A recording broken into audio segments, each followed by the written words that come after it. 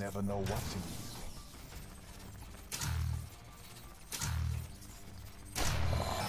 Come on, you gotta be happy with that. No?